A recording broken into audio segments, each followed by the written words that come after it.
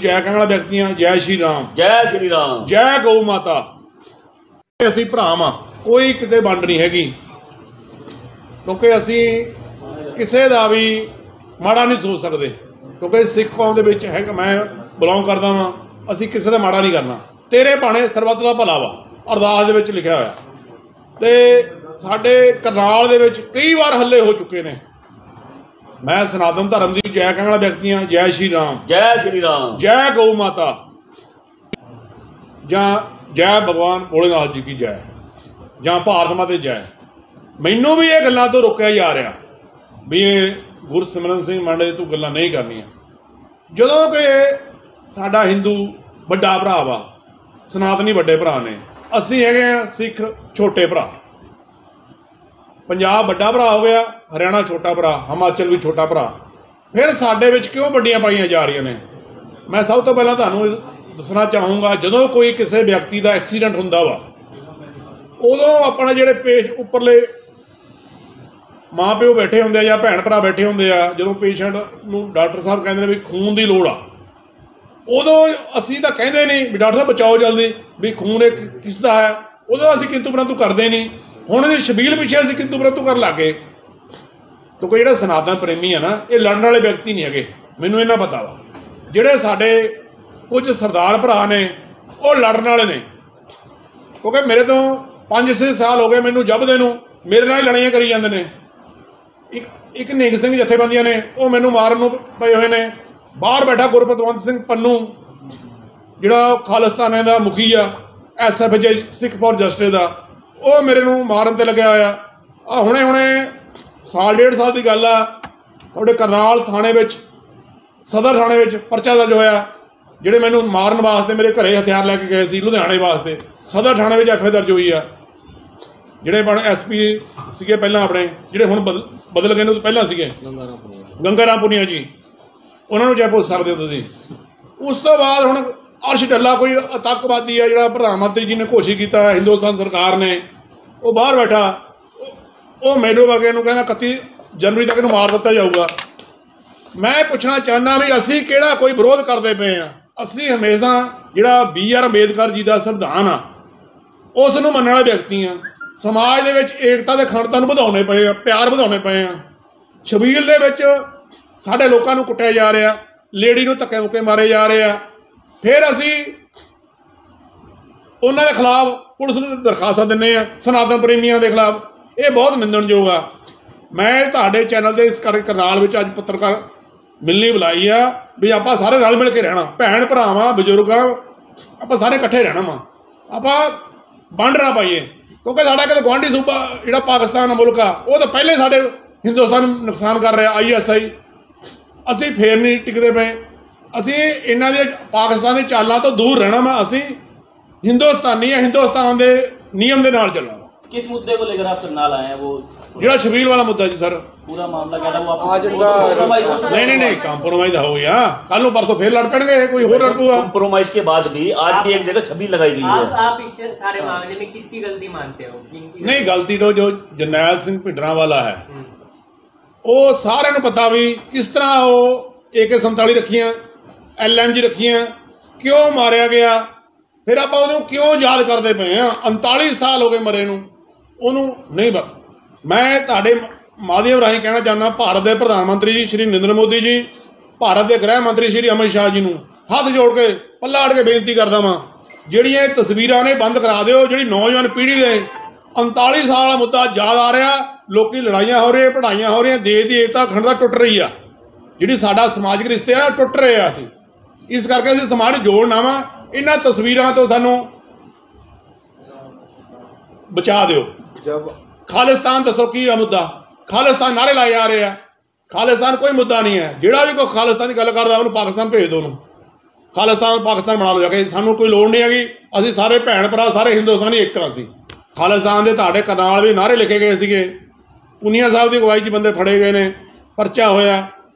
ਫਿਰ ਇਹ ਕਿਉਂ? ਖਾਲ ਕਿ ਖਾਲਿਸਤਾਨ ਕੀ ਹੈ ਔਰ ਇਹਦੇ ਲੋਕੀ ਖਿਲਾਫ ਕਿਉਂ ਨੇ ਔਰ ਇਹ ਨਾ ਮੁਰਦਾ ਮੈਡਮ ਅਸੀਂ ਹਿੰਦੁਸਤਾਨ ਦਾ ਜਿਹੜਾ ਕਾਨੂੰਨ ਆ ਉਸ ਦੇ ਅਨਸਾਰ ਸਾਨੂੰ ਚਾਨਣਾ ਵਾ ਸਾਨੂੰ। ਅਸੀਂ ਖਾਲਿਸਤਾਨ ਦੀ ਗੱਲ ਹੀ ਨਹੀਂ ਕਰਦੇ।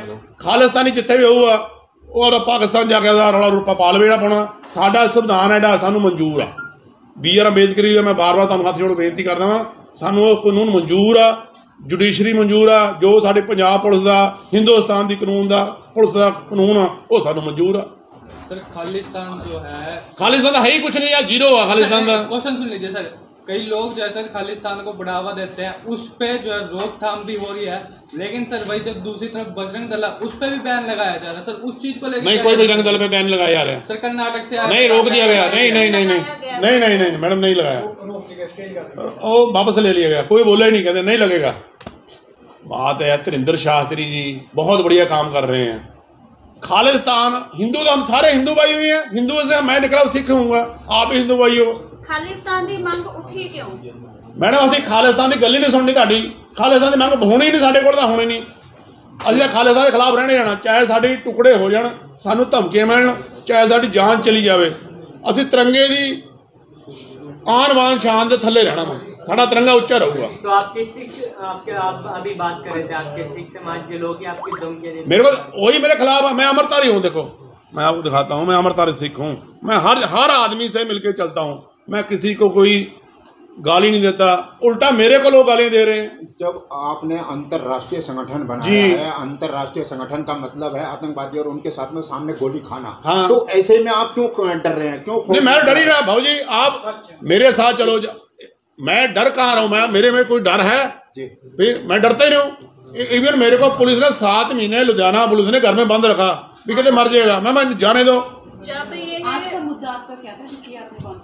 आज का मैम शबीर के प्रति जो भी हल्ला हुआ मैं अभी राणा जी के घर जाऊँगा। जो मारपीट हुई है लेडी का बदतमीजी उन्होंने की है उस, उसको जाके पूछूँगा भाई क्या हुआ क्या नहीं हुआ? तो ये देश वाले भी इतने ਸਮਾਜ ਵਿੱਚ ਸੁਖ ਸ਼ਾਂਤੀ ਬਣਾਏ ਰੱਖੇ ਆਪਾਂ ਸਾਰੇ ਭੈਣ ਭਰਾਵਾਂ ਹਿੰਦੂ ਮੁਸਲਮ ਸਿੱਖ ਈਸਾਈ ਜੈਨੀ ਬੋਧੀ ਅਸੀਂ ਇੱਕ ਹਾਂ ਕੋਈ ਦੋ ਨਹੀਂ ਹੈਗੇ आपको नहीं लगता कि ये प्रेस कॉन्फ्रेंस करने में देर कर दी क्योंकि उनका तो समझौता भी हो गया है नहीं नहीं नहीं मैं तो सारे मिलजुल के संदेश देना है हम रल मिल के रहना है आपका नाम और डेजिग्नेशन मैं Gursimran Singh Mann international anti Khalistani terrorist front का प्रधान लगता नहीं कहीं ना कहीं सरकारों की इन्वॉल्वमेंट राजनीति जरूर होती है क्योंकि पहले हिंदू मुसलमान होता था अब हिंदू सिख करवाने की कोशिश की नहीं कोई सरकार अपना बढ़िया काम करे मोदी जी ने 370 धारा खत्म की ईंटा बट्टे चलने बंद हो गए। उसके बाद सिख ज़्यादा होने लग गए सुन तो लो भाई।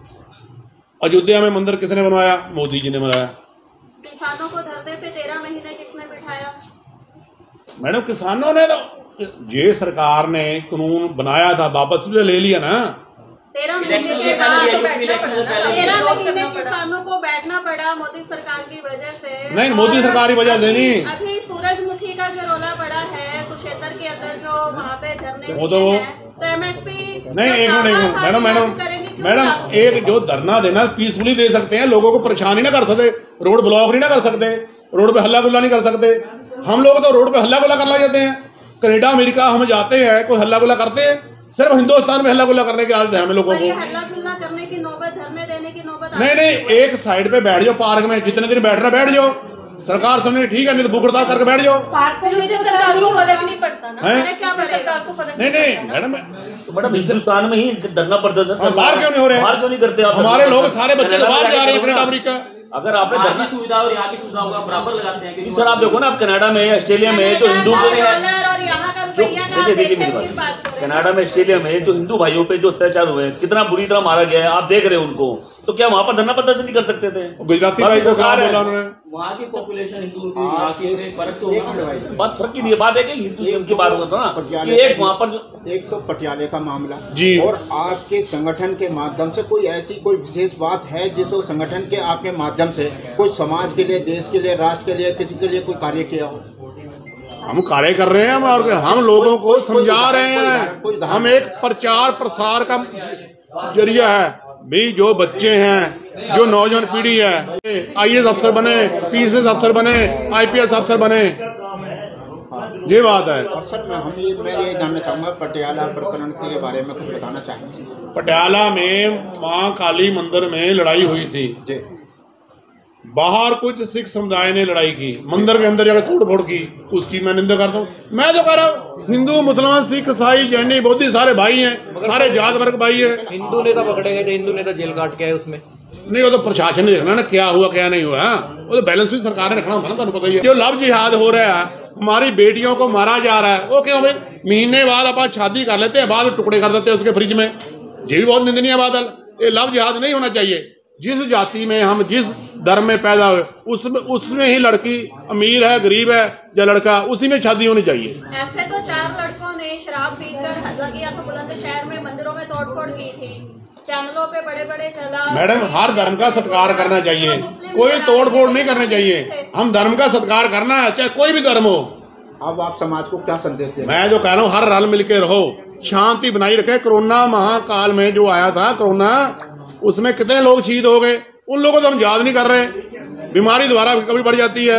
इसलिए हम कह रहे हैं अपना कारोबार करें आईपीएस अफसर बने बच्चे आईएएस अफसर बच्चे, बने नशे को त्यागें रल मिल के रहें समाज को प्यार से रखें समाज को प्यार में नफरत ना फैलाएँ जो लोग। कुछ भी है एक दो चार जो लोग हैं ये बात करने चाहिए हम सब भाई भाई हैं।